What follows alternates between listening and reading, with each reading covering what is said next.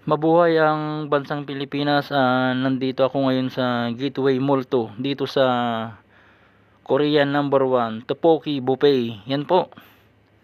Dito po yan sa Gateway ah, Mall 2. Ah, Araneta Center Cubao. Yan po. Ang Dooki. Ah, Korean food po ito guys. Yan po. Yan, ah, susubukan po natin kumain dito. Ah, dahil uh, buffet po ito guys, may discount promo po hanggang uh, December.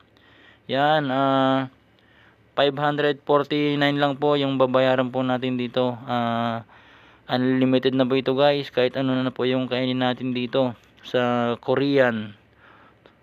The number one to po kay uh, buffet. Yan po. Yan po yung mga kababayan natin na kumakain po dito sa loob yan. Uh, i-video ko muna po itong uh, dining table po nila dito guys. Yan. Ang dooki yan po.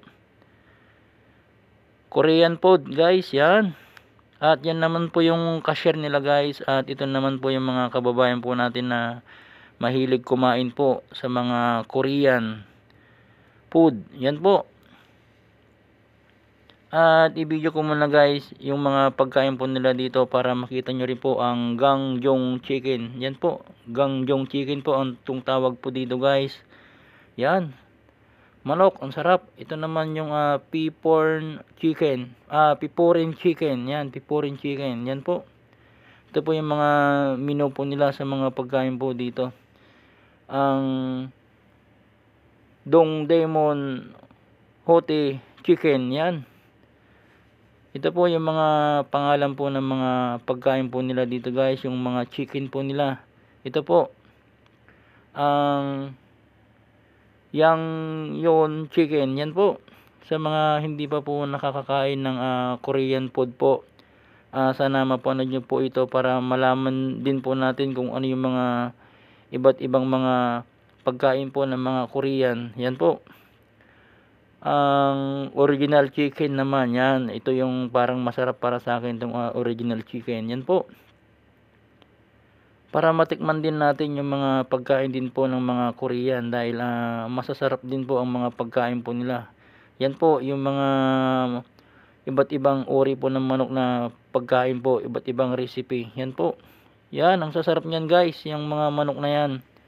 At yan po yung ating mga kababayan na kumakain po dito guys. Yan po at isa-isahin po natin para makita po natin lahat ng mga nandito sa loob ng Dooki. Yan po. Yan. Paste cake. Yan po, paste cake. Parang ano to guys, yung uh, mga rekado po. Kasi uh, lulutuin nyo po dito yan guys. Yan. Korean shrimp ba yun? Uh, radish. Yan na po radish. Ito naman po yung uh, kimchi. Yan paborito ko to kimchi po. Dati ayaw kong kainin pero nagustuhan ko na po guys. Yan.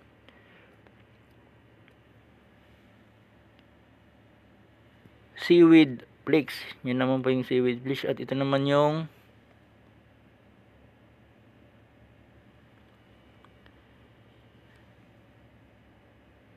mix kimchi. Ha mix kimchi pala yun guys. Yan ito po yung mga rekado po dito guys uh, ng Korean. Dito sa Dooki dito sa Gateway Mall 2 yan po welcome na welcome po tayo dito guys. 549 pesos lang po uh, it all you can na po ito guys uh, buffet. Ito, na, ito naman po yung uh, parang manok po ito guys. Yan mamaya uh, kakainin ko din to mamaya. Yan may stick po siya. At ito naman po yung mga pansit po nila. Yan po kakaibang mga pansit po. Yan parang sutang hon yata ito guys yung mga pansit po dito. At ito naman po yung pang dessert po nila. Grabe mga iba't ibang mga uri po ng pagkain ng mga Korean food po. Yan. Dooki, Dooki uh, hot dogs naman to guys. Yan. Mamaya kukuha tayo dyan. Dooki hot dogs. At itong uh, Sichok Sichok Sichok Sichok yata ito guys. Uh, sweet potato Ayan, sweet potato, patatas. At ito naman yung napakagandang uh, pansit po nila. Ang japchay, japchay. Yata, ang bigkas nun guys. Yan. At ito naman po yung uh, dessert po, yung uh, pinya, tsaka yung uh, pakwan. At ito naman po yung ah, mixed fruit nila, yung pinaghalo-halong mga prutas po. Kaya may dessert po tayo dito guys. Yan. 549 pesos lang po dito sa Gateway Mall 2 para may experience din naman natin ang pagkain ng ah, taga Korea. Yan po, ang Korean food. Yan, yan po yung mga kababayan po nating mga kumakain. Ang bola-bola po nila dito, ito po yung mga pansahog po. Yan, wala po kasing mga pangalan na inilagay. Yan po. At hindi ko rin po kabisado ang mga pagkain po ng Korean. Yan po. At sana makabisado ko po kapag lagi na akong kumakain po dito ng ah, Korean food dito sa Gateway. Dahil dito po sa Gateway napakarami pong mga restaurant po dito na bago. Kaya sa mga mahilig mag food trip po, ah pwede po kayong pumunta ng Gateway Mall to po dito sa Araneta Center, Cubao, Quezon City, Philippines. At napakarami po sila ng mga iba't ibang mga restaurant po dito guys. Yan po. Ito po yung ah, dining po nila guys sa loob at yan po yung mga lagayan po nila ng pagkain. Sobrang ang ganda po. Yan, talagang ah, pang world class na po talaga yung mga pagkain po dito dito sa Gateway. At ito po yung ah, dining table po nila guys. Yan po. At dito na siguro kami uupo. Yan. 549 pesos lang po guys. Yan po. Para matikman po natin yung mga iba't ibang ah, pagkain ng Korea. Seafood roll. Yan.